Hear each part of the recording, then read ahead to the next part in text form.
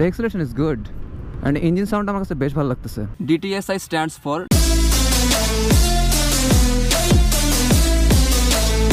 hello everyone welcome to my YouTube channel I hope you guys are doing fine এখন বাজে almost দুইটা চল্লিশ। And আজকে ইনশাল্লাহ একটা বাইক রিভিউ করব।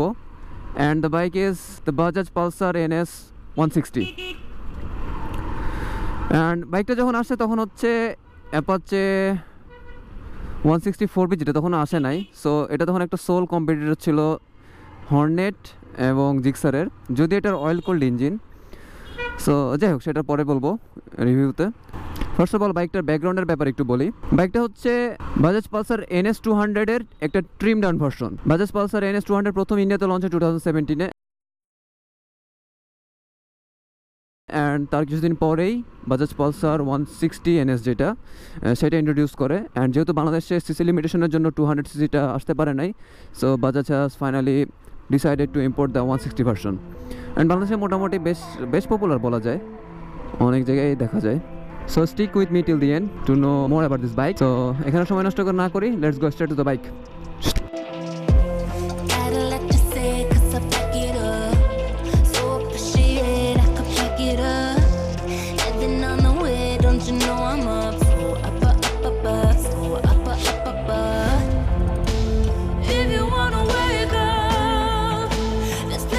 could take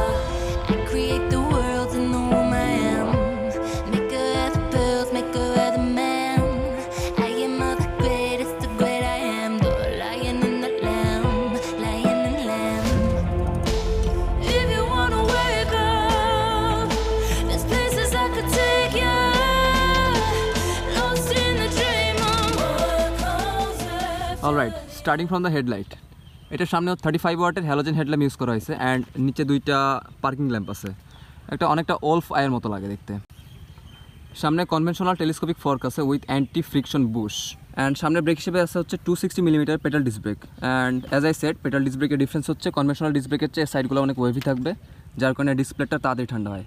অ্যান্ড রোটরটা হচ্ছে বাজাজের ইনহাউস রোটর সামনে টায়ার হিসেবে ইউজ করা হয়েছে MRF Nylogrip Zapper F S one and the tyre size is eighty millimetres by hundred and rim size is seventeen inch Coming to the engine section, it has got 160.3 cc 4 stroke 4 valve oil cooled DTSI engine. And DTSI stands for Digital Twin spark ignition that means এটা হচ্ছে সিলিন্ডারের দুই পাশে দুইটা spark plug আছে।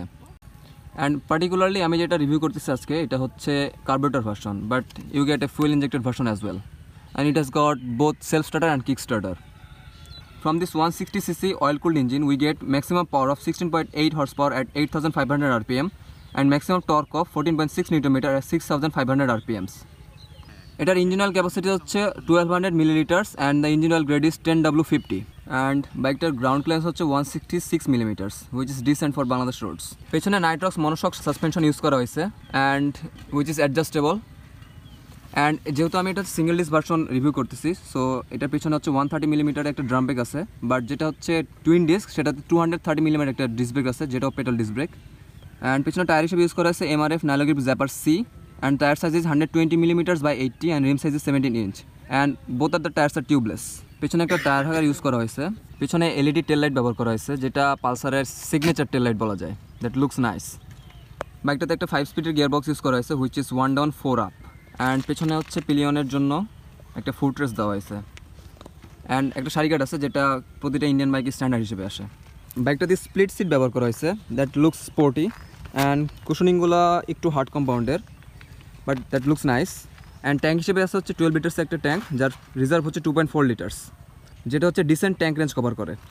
NS one sixty যে single disc version এটার weight হচ্ছে one forty two kgs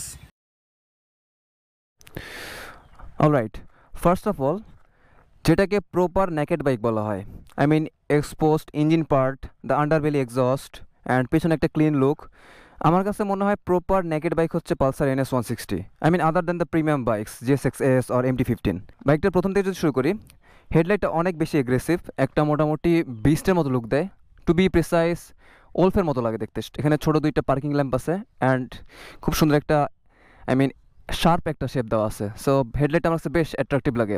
যদিও এটা হ্যালোজেন বাট যেহেতু এখন একটা যুগ চলে আসছে যে সব মোটামুটি সব বাইকেই এলইডি হেডল্যাম্প ইউজ করা হয়। সো এলইডি লাইট দিলে আই গেস আরও সুন্দর লাগতো। সো যাই হোক, সামনের দিকটা যথেষ্ট এগ্রেসিভ লাগে। And coming to the tank section এই জায়গাটা অনেক বেশি শার্প অ্যান্ড এখানে একটা এনএস ওয়ান সিক্সটি একটা সুন্দর আই মিন ব্র্যান্ডিং করা আছে, যেটা টু হান্ড্রেডসে টু হান্ড্রেড লেখা থাকে। And that looks very nice and আরেকটা কথা হচ্ছে বাইকটার ফ্রেম হচ্ছে পেরিমিটার ফ্রেম আমরা নর্মাল যেসব বাইক ইউজ করি, সেগুলোতে হয় ডাবল ক্র্যাডেল ফ্রেম থাকে অথবা ডায়মন্ড ফ্রেম থাকে। বাট এটা হচ্ছে পেরিমিটার ফ্রেম যার কারণে ফ্রেমটা অনেক রিজিড থাকে অ্যান্ড হ্যান্ডলিংয়ে যথেষ্ট হেল্প করে আপনাকে। অ্যানাদার থিং হচ্ছে বাইকটার হুইল বেস বাইকটার হুইল বেস হচ্ছে বিশাল বড়। I mean thirteen hundred seventy two millimetres that means huge যেটা হচ্ছে হাই স্পিড কর্নারিংয়ের জন্য খুবই খুবই বেশি এফেক্টিভ বাট সিটি রাইডের জন্য আই মিন ফ্লিকেবল হবে না যদিও একটা, কারণ টার্নিং নিতে বা ইউটার্ন নিতে একটু জায়গা বেশি লাগবে। বাট আদার দ্যান দ্যাট বাইকটা মানে হাই স্পিড কর্নারিংয়ে যথেষ্ট যথেষ্ট ভালো ফিডব্যাক দেয়। অ্যান্ড আরেকটা জিনিস হচ্ছে this is an oil cooled engine so obviously air cooled ইঞ্জিনের থেকে বেশি মাইলেজ কভার কভার করতে পারবে।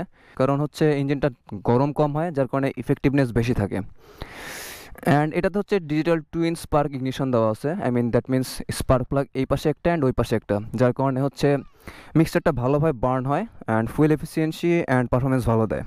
That's a good feature for Bajaj bikes coming to the back আমার কাছে যেটা প্রথমে মনে হয় যে এখানে কি একটা মিসিং অ্যান্ড এই কি মিসিং কি মিসিং করতে করতে প্রথমে যেটা খেয়াল হয় সেটা হচ্ছে এটার আন্ডারবেলি এক্সস্ট এটা এক্সস্টের এন্ডিংটা হচ্ছে এইখানে as you can see that so এখানে মনে হচ্ছে কিছু একটা মিসিং আছে। আমি কিছু কিছু দেখছি যারা হচ্ছে আফটার মার্কেট এক্সস্ট লাগায়।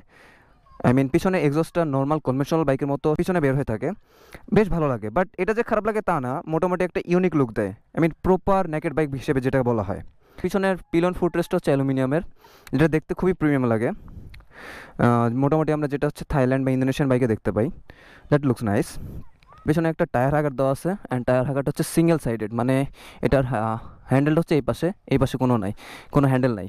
সো মোটামুটি এটা ভালোই লাগে দেখতে। অ্যান্ড পেছনে হচ্ছে বাইক কোম্পানির মানে প্রোডাকশন লাইন থেকে টেল টাইডি দেওয়া থাকে। যেটা ছিল এর আগে পালসার ওয়ান থার্টি ফাইভ এলএসে যেটা খুবই খুবই সুন্দর লাগে দেখতে আমার কাছে। অ্যান্ড দ্য গ্র্যাবরেলস এটাও যথেষ্ট শার্প আছে। আই মিন বাইকটা অ্যাটেনশন টু ডিটেলস যে ব্যাপারে যদি বলি, খুব শার্প অ্যান্ড খুব এজি বলা যায়। নিচে একটা ইঞ্জিন কল দেওয়া আছে, যেটা অনেকটা স্পোর্টি লুক দেয় একটা। That looks nice so let's not waste any more time let's open the bike বিসমিল্লাহ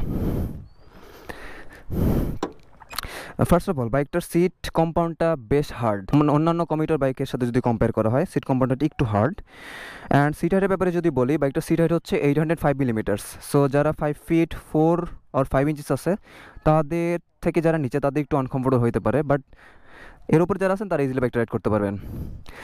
অ্যান্ড বাইকটার হচ্ছে থ্রি পার্ট হ্যান্ডেল বার যেটা আর এস টু হান্ড্রেড আর এন এস টু হান্ড্রেডের মতোই সেম যেটা বেশ ভালোই লাগে দেখতে।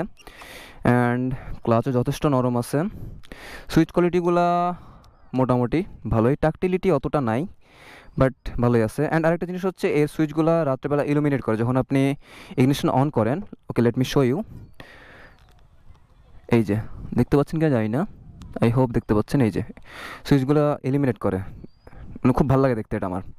আচ্ছা coming to the instrument cluster এটা হচ্ছে সেমি ডিজিটাল ইনস্ট্রুমেন্ট ক্লাস্টার এই পাশে অ্যানালগ আরপিএম মিটার তার পাশে হচ্ছে ফুয়েল গজ এখানে ক্লক এখানে স্পিড মিটার এখানে অটোমিটার ট্রিপ মিটার অ্যান্ড এখানে একটা সার্ভিস ওয়ার্নিং ইন্ডিকেটার অ্যান্ড এখানে একটা আরপিএম লিমিটার আছে। অ্যান্ড এই পাশে হচ্ছে একটা battery warning indicator and engine oil change indicator so মোটামুটি ভালোই complete other than the gear indicator gear indicator থাকলে ষোলো কলা পূর্ণ। আচ্ছা যাই হোক। লুকিং গ্লাসগুলো একটু ছোট, আয়ুষ একটু বড় হইতো, এটা কম্পারেটিভলি একটু ছোটো লাগতেছে আমার কাছে। ফিজিবিলিটি মোটামুটি ভালোই। অ্যান্ড লুকিং গ্লাসের এখানে যেই স্টিলটা থাকে, সেটা কভার করার জন্য একটা রাবার টাইপের আছে। ভালো লাগতেছে দেখতে। So let start the engine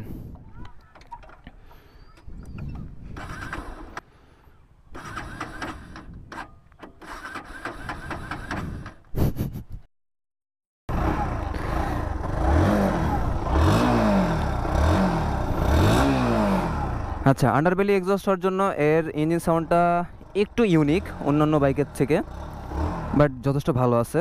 So let start the ride কোন দিকে যাওয়া যায়? বিসমিল্লা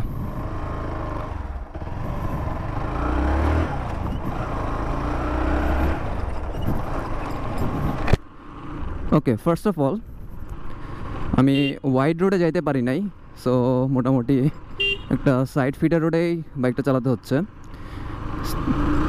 এক্সেলেশন সম্পর্কে বলব যথেষ্ট ভালো।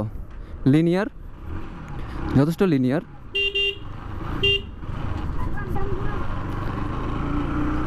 অ্যান্ড যেহেতু একটু ভাঙা রাস্তা আছে সো ফার্স্ট অফ অল সাসপেনশনের ব্যাপারে বলি। সামনে সাসপেনশনটা যথেষ্ট সফট বাট পিছনটা একটু stiff which will help you to do high speed cornering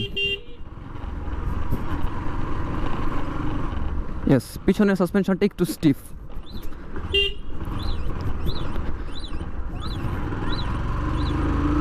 but এটার কর্নারিং অ্যাবিলিটি ভালো লাগতেছে আমার কাছে। ও এক্সেলেশন যথেষ্ট ভালো। All right talking about the brakes সামনের ব্রেকটা যথেষ্ট ভালো।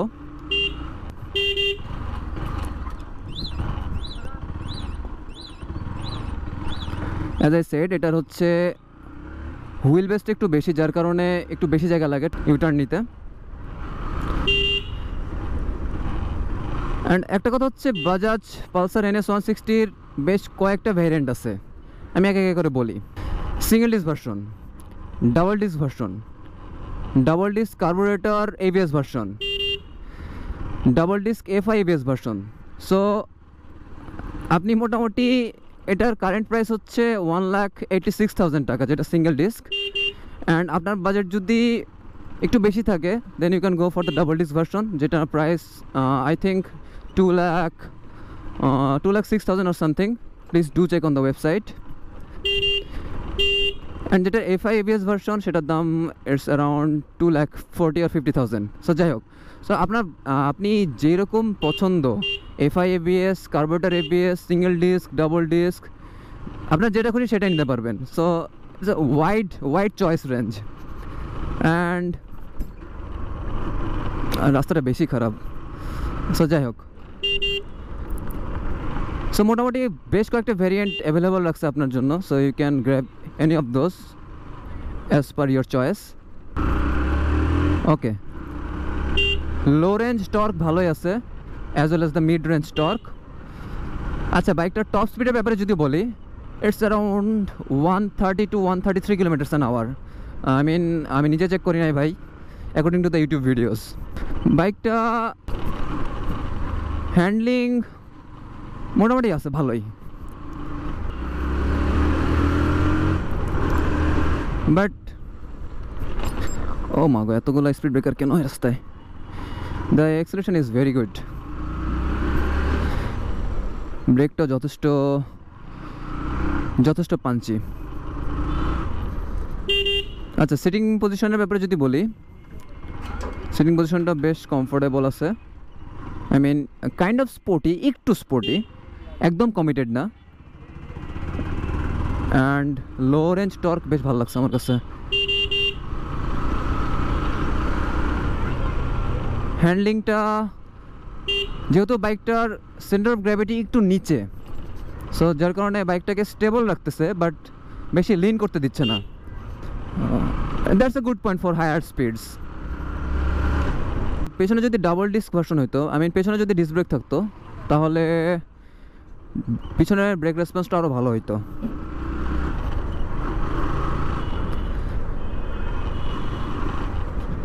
বাট একটা প্রপার নেকেড বাইক যেটাকে বলা হয়, আমার কাছে ফ্রম মাই পার্সপেক্টিভ আমার কাছে এটাই মনে হয়। কর্নারিং ক্যাপাবিলিটি মোটামুটি ভালোই। হুইল বেজ একটু বেশি থাকার জন্য ইউটার্ন নিতে একটু বেশি জায়গা লাগে।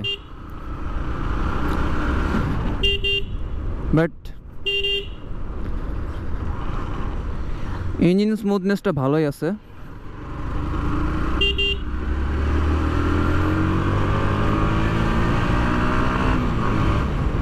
The acceleration is good and engine sound আমার কাছে বেশ ভালো লাগতেছে।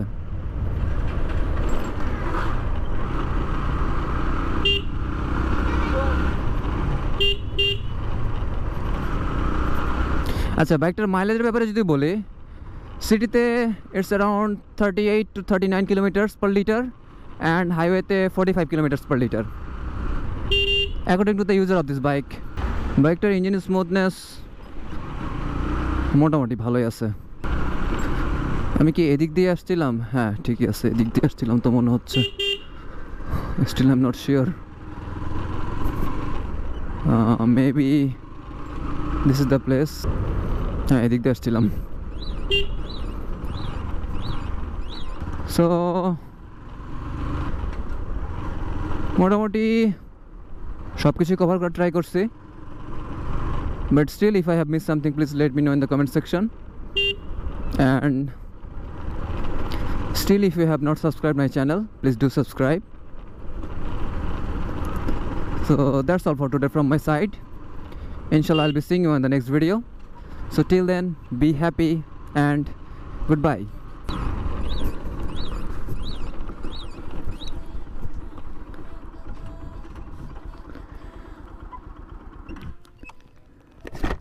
Whew.